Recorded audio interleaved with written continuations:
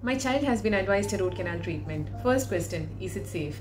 So, do you think it is safer to keep giving them antibiotics and painkillers and reducing the pain temporarily, or is it better to get rid of the pain permanently by doing a root canal treatment? So, it is up to you to decide.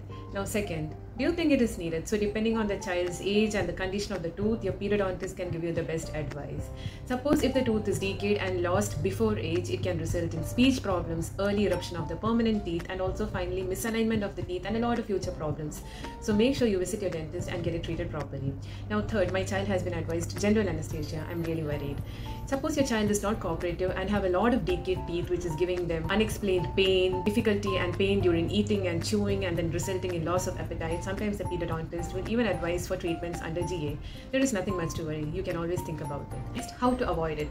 Child tooth decay is something that has to be taken care right from the time the first tooth erupts in the mouth. Any signs of decay, make sure you visit your dentist.